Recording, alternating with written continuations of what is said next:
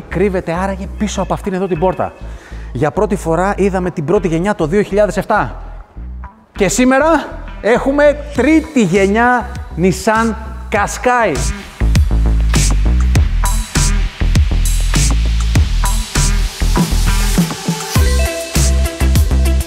Αυτό εδώ, αυτό εδώ είναι το πρώτο Nissan Qashqai τρίτης γενιάς, το οποίο πάτησε στην Ελλάδα. Ένα όχημα προπαραγωγής που έχει δημιουργήσει κατηγορία. Ποια κατηγορία είναι αυτή; Την κατηγορία των SUV, την κατηγορία των οχημάτων ελευθέρου χρόνου.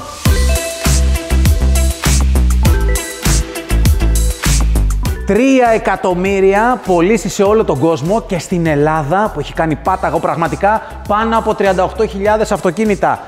Και το συγκεκριμένο, η τρίτη γενιά, είναι μια γενιά όπου τη σχεδίασή της έχει επιμεληθεί το στούντιο σχεδίασης της Nissan στο Λονδίνο.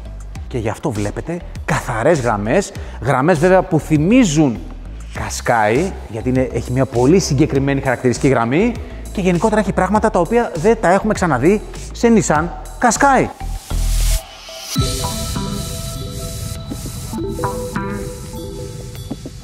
Μια χαρακτηριστική σχεδίαση την οποία τη βλέπουμε στα τελευταία μοντέλα γενικότερα της Nissan. Εδώ έχουμε και μια καινούρια μάσκα. Αυτό εμένα που με έκανε εντύπωση έτσι με το που το είδα είναι και το Qashqai το οποίο είναι γραμμένο εδώ στα πλαϊνά του αυτοκινήτου κάτω από τα LED φώτα. Οι κάμερες, αυτό έχει να κάνει ε, όταν επαρκάρεις που κάνει το μπιπ, αυτό εδώ. Για πρώτη φορά σε Nissan Qashqai ζάντες 20 μεγάλες ζάντες, πολύ ωραίες θα τις έλεγα, sexy. Ας δούμε λίγο και το πίσω μέρος. Γενικότερα να ξέρετε ότι έχει μεγαλώσει πολύ σε μήκος, σε πλάτος, σε μεταξώνιο, το οποίο αυτό στην πράξη τι σημαίνει, έχουμε περισσότερους χώρους για τους επιβάτες και καλύτερο χώρο αποσκευών. Το πίσω μέρος βέβαια είναι πολύ μάτσο, ξεχωρίζει. Η σχεδίαση φωτάκια, δείτε εδώ, το κασκάι με τα γράμματα εδώ, τονίζεται πολύ.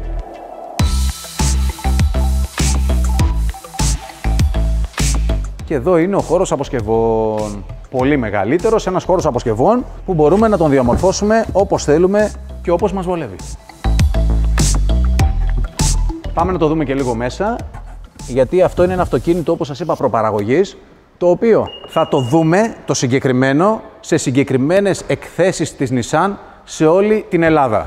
Τα πρώτα αυτοκίνητα θα πρέπει να τα περιμένουμε μέσα στο καλοκαίρι. Μπαίνουμε μέσα στο εσωτερικό του Κασκάι και καταλαβαίνουμε, εισπράττουμε κάτι καινούριο κάτι ολοκένουργιο όσον αφορά την αισθητική, όσον αφορά την τεχνολογία. Τι μας έλειπε, το λέγαμε κιόλας από ένα κασκάι, αυτό το software, αυτές οι οθόνες οι ωραίες. Εδώ έχουμε και μια πολύ μεγάλη ψηφιακή οθόνη, ο κεντρικός πίνακας οργάνων και μια μεγάλη οθόνη στην κεντρική κονσόλα.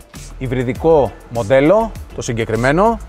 Για πρώτη φορά σε Nissan Qashqai έχουμε το head-up display. Τι είναι το head-up display όσοι δεν το γνωρίζετε; Όταν οδηγούμε εμφανίζονται πάνω στο παμπρίζ η ταχύτητα και άλλες πληροφορίες χωρίς να χρειάζεται να αλλάζει το βλέμμα μας και να πέφτει προς τα κάτω. Δηλαδή κοιτάζουμε το δρόμο και βλέπουμε την ταχύτητα. Για πρώτη φορά έχουμε και head-up display. Φυσικά έχουμε αυτά τα συστήματα της ε, Nissan, το Autopilot που φρενάρει μόνο του, που μπορεί να πηγαίνει και μόνο του και όλα αυτά. Έχουμε πολλά πράγματα. Γενικότερα πάρα πολύ τεχνολογία. Εντάξει, ένα αυτοκίνητο το καταλαβαίνεις βασικά φαίνεται ότι έχει μεγαλώσει. Το εισπράττεις. Το καταλαβαίνεις.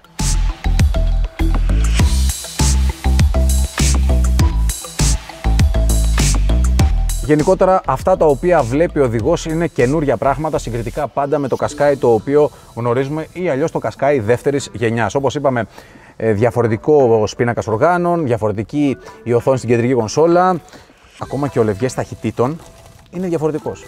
Έτσι.